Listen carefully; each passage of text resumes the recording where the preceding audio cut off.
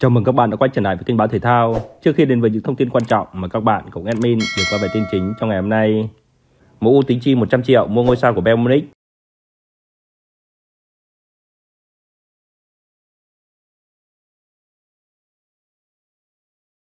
Và còn rất nhiều thông tin khác. Sau đây chúng tôi mời các bạn cùng đón xem. MU tính chi 100 triệu mua ngôi sao của Bayern Munich. Theo các nguồn tin độc quyền tiết lộ với tin Tâu, MU đang cân nhắc gửi tới Bayern Munich là đề nghị trị giá 100 triệu euro để hỏi mua tiền vệ bom tấn Jama Musiala vào mùa hè sang năm. Tuy nhiên, nhà đương kim vô địch ngoại Anh sẽ phải đối mặt với sự cạnh tranh từ Man City và Real Madrid. MU xác định Jama Musiala sẽ là mục tiêu hàng đầu cho trại hè sang năm để tăng cường cho sự sáng tạo nơi hàng tiền vệ. Sau màn trình diễn xuất sắc ở Euro năm 2024, cầu thủ 21 tuổi đã gây ấn tượng mạnh với Erik ten Hag. Anh có thể chơi ở vị trí số 10 hoặc tiền đạo cánh trái, do đó có thể đảm nhận nhiều vị trí trên hàng công. Chelsea và River cũng đang theo dõi chặt chẽ tình hình của Musiala, nhưng hiện tại MU, Real Madrid và Man City tỏ ra tích cực hơn trong cuộc đua giành chữ ký của tuyển thủ Đức. MU và Man City đang có lợi thế hơn một chút vì Jamal Musiala đang muốn trở lại Anh chơi bóng ở ngoại Anh. Jamal Musiala còn hợp đồng với Bayern Munich đến năm 2026 nhưng anh vẫn chưa chịu ngồi vào bàn đàm phán để gia hạn hợp đồng. Tim Tâu dự đoán cầu thủ 21 tuổi muốn rời hùng xám để tìm kiếm thử thách mới, khiến khả năng anh ra đi vào mùa hè sang năm ngày càng cao. Tính đến lúc này của mùa giải, Jamal Musina đã ghi được 3 bàn thắng và có 3 phát kiến tạo cho Bayern Munich sau 6 lần ra sân trên mọi đấu trường. Mùa giải trước, anh đã ghi 12 bàn thắng và có 8 phát kiến tạo trong 38 trận trước khi ghi 3 bàn thắng cho đội tuyển Đức ở Euro năm 2024. MU phải tất tay vì Bellingham mới. Sau thành công trong cuộc chiến giành đúc so và Diogo Danot trong quá khứ, Man United đã đánh bại Real Madrid để ký hợp đồng với Nerioso vào mùa hè năm 2024 trong một thỏa thuận trị giá lên tới 58,9 triệu bảng Anh.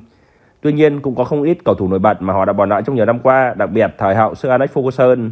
Và giờ đây, Man United phải tiếc nuối khi nhìn rút Bellingham Erling Haaland vượt lên ở đẳng cấp thế giới ở một nơi khác.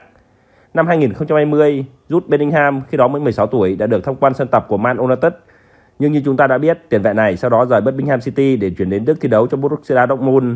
Kể từ khi đó, anh phát huy hết tiềm năng của mình và được coi là một trong những cầu thủ xuất sắc nhất của châu Âu ở Real Madrid.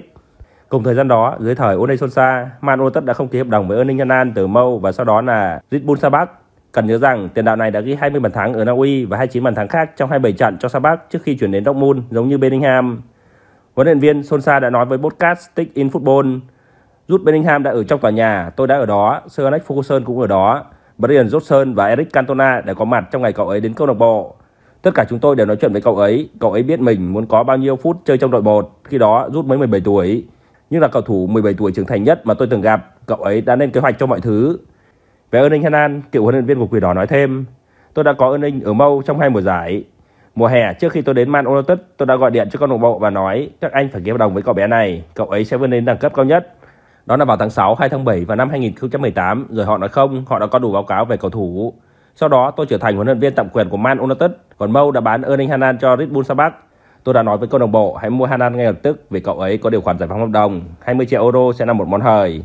Hanan ghi bàn như một thói quen ở Dortmund và gần đây đã ghi bàn thắng thứ 100 cho Man City trong trận đấu thứ 105 cùng đội chủ sân ETH. Man United không có thời gian để hối tiếc về những sai lầm trong quá khứ. Bây giờ dưới một chế độ hoàn toàn khác, Man United sẽ ra sức sửa chữa những sai lầm. Thỉnh thoảng sẽ có một cầu thủ đột phá ở hạng dưới và cảm giác rằng anh ta sẽ trở thành một siêu sao. Chiết của Sunderland chính là cầu thủ đó và lúc này quỷ đỏ không thể vượt mất một viên ngọc quý như vậy nữa. Cầu thủ 17 tuổi này đã có hai lần ra sân cho mèo đen sau khi ra mắt đội 1 ở tuổi 15, 6 tháng và 14 ngày vào tháng 1 năm 2023. Man United đã quyết tâm chiêu mộ chiếc rích cầu thủ được ví von là Brian Johnson, rút Bellingham hay Roy mới. Top Sport tuyên bố rằng đội chủ sân Old Trafford có thể thực hiện động thái ngay từ tháng riêng này. 100% tranh chấp, 100% dây bóng, điểm sáng lớn nhất của MU đêm qua Manchester United đã phải chịu kết quả hòa 1-1 đáng tiếc trước FC Twente trong trận mở màn Euromanic 2024-2025. Christian Eriksen đã phá vỡ thế bế tắc trong 10 phút trước khi hiệp một kết thúc bằng cú dứt điểm tuyệt đẹp trong vòng cấm. Tuy nhiên, cũng chính Eriksen đã mắc sai lầm nghiêm trọng dẫn đến bàn gỡ hòa của đối phương ở phút 68. Các cầu thủ của Erik ten Hag có 5 cú sút trúng đích trong tổng cộng số 19 cú sút về phía khung thành đội khách. Ngược lại, Twente có tổng cộng 7 cú dứt điểm, trong đó có 3 tình huống Andre Onana phải chủ tài. Trong một ngày, Man United dù được đánh giá cao hơn đối phương nhưng không thể giành chiến thắng. Rất ít cầu thủ cho thấy sự nổi bật, ngoài trừ Marcus Rashford. Rashford đã không có tên trong đội hình xuất phát của MU trước Canito Banet, nhưng sau khi trở lại ở cuộc đấu tiên ti, số 10 đã cho thấy sự bùng nổ. Rashford đã thực hiện 4 trên 4 lần dây bóng thành công, đồng thời hỗ trợ phòng ngự khá tốt. Cầu thủ 26 tuổi đã giành chiến thắng 5 trên 6 lần tranh chấp tay đôi trên mặt đất, đồng thời cũng giành chiến thắng 1 trên 1 pha tranh chấp trên không. Ngoài ra, Rashford có 2 lần phá bóng và một pha tác bóng thành công. Với những gì đã thể hiện, không bất ngờ Rashford được ra sân ngay từ đầu trong trận gặp Tottenham vào cuối tuần này. Ba điểm đen trong trận hòa đáng thất vọng của MU trước Twente. Thầy trò huấn luyện viên Erik ten Hag được đánh giá là một trong những ứng cử viên sáng giá cho chức vô địch Europa League mùa này. Vậy nên họ rất quyết tâm trong cuộc chạm trán với đối thủ dưới cơ FC Twente. Ba điểm trong trận ra quân là mục tiêu mà quỷ đỏ hướng đến để tạo đà tâm lý về sau. Nhằm hiện thực hóa điều đó, Ten Hag không ngần ngại tung ra đội hình gần như tốt nhất. Marcus Rashford sau khi được nghỉ ngơi ở trận đấu với Crystal Palace hôm thứ Bảy tuần trước đã xuất phát ngay từ đầu và sáng nay. Anh cùng với Bruno Fernandes, Amad Neno và Josuji tạo nên bộ tứ tấn công. Ở hàng tiền vệ, nhà cầm quân người Anh đã gây bất ngờ cho các cổ động viên của Man United khi cất Comimeno trên băng ghế dự bị. Thay vào đó, ông sử dụng bộ đôi Manuel Ugarte và Christian Eriksen, người đã có phong độ cao trong thời gian gần đây. Với vị trí thủ môn, Andre Onana vẫn bắt chính, nhưng hàng thủ có sự thay đổi so với những gì chúng ta thường thấy. Cụ thể, Matic Pjanic được cho nghỉ ngơi để Harry Maguire xuất phát ngay từ đầu ở vị trí trung vệ. Ba cái tên còn lại gồm Lisandro Martinez, Nosai Maroi và Diogo Danot. Sở hữu chất lượng đội hình tốt hơn, lại chơi trên sân nhà, dễ hiểu tại sao quỷ đỏ nằm thế chủ động. Thống kê sau trận đấu cho thấy Man United đã kiểm soát bóng 57% thời lượng trận đấu, tung ra tới 19 cú sút, nhưng việc tận dụng cơ hội tiếp tục là vấn đề của họ với chỉ một lần đưa bóng vào lưới Twente. Bên kia chiến tuyến, đại diện tới từ Hà Lan chơi khá tốt khi họ cũng tung ra 7 pha dứt điểm, trong đó có 3 lần đưa bóng trúng đích và ghi được một bàn thắng. Chỉ giành được kết quả 1-1 trong trận đấu giao quân tại Europa 2024-2025. Quả thực Man United đã gây thất vọng với người hâm mộ. Chỉ giành được kết quả hòa 1-1 trong trận đấu giao quân tại Europa 2024-2025. Quả thực Man United lại gây ra thất vọng đối với người hâm mộ. Và đây là ba cầu thủ bên phía quỷ đỏ bị đánh giá chơi tệ nhất trong trận đấu diễn ra sáng nay. Đầu tiên, Bruno Fernandes Ngôi sao người Bồ Nha tiếp tục là lựa chọn cho vị trí số 10, nhưng anh chơi rất kém. Bruno Fernandes không có tình huống chuyển bóng sáng tạo nào nhưng vẫn được chơi trọn vẹn 90 phút. Thực sự thì phong độ của Bruno đang rất đáng báo động. 2. Nusai Marui Marui tiếp tục có những tình huống hỗ trợ tấn công tốt, nhưng việc quá mải mê nan lên tấn công cũng khiến vị trí hậu vệ phải của anh đôi lần bị khai thác. Cầu thủ này cũng cố gắng ngăn chặn cú dứt điểm quân bình tỷ số của đối phương nhưng không thành công. Và cuối cùng, Christian Eriksen rất khó để nói Christian Eriksen là một cầu thủ chơi tệ bởi anh là người ghi bàn thắng duy nhất cho MU ở phút thứ 35. Thế nhưng cũng chính sai lầm mất bóng của tiền vệ người Đan Mạch đã tạo cơ hội cho Titi ghi bàn gỡ hòa ở phút 68. Neri trở lại thi đấu vào đầu tháng 12. Mùa hè năm nay, Neri đã trở thành tân binh của MU. Quỷ đỏ đã đánh bại Real Madrid để có chữ ký của cầu thủ 18 tuổi, người được cho có tiềm năng cực lớn. Tuy nhiên, đội chủ sân Old Trafford cũng đã phải bỏ ra 52 triệu bảng cho thương vụ này. Ngôi sao người Pháp chưa ra sân bất kỳ trận đấu nào chính thức cho MU vì chấn thương theo đó, anh bị gãy xương bàn chân dính phải ở trận giao hữu với Arsenal trên đất Mỹ vào cuối tháng 7.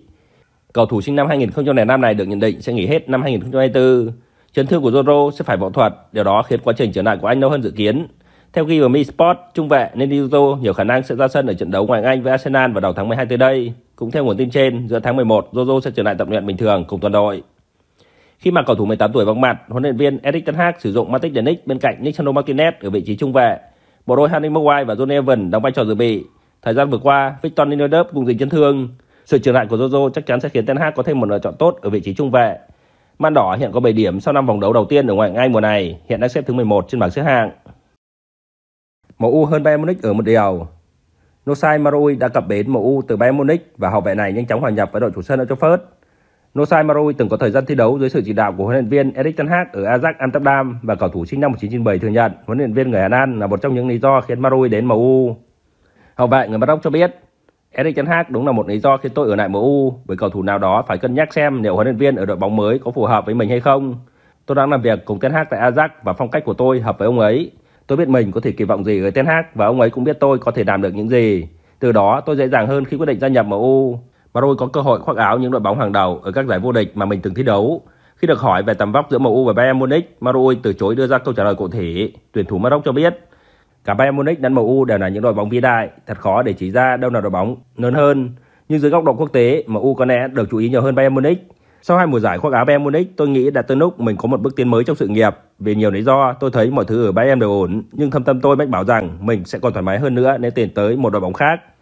Ngay lúc đó MU đã đưa ra đề nghị và tôi chắc chắn rằng không cần giải thích thêm lý do tại sao tôi tới MU nữa, tới Old Trafford với một mức phí chuyển nhượng mà theo tôi nghĩ là phù hợp với tôi. Nhờ đó tôi có khởi đầu thuận lợi, người hâm mộ sẽ dễ dàng nghĩ rằng tôi là bản hợp đồng chất lượng.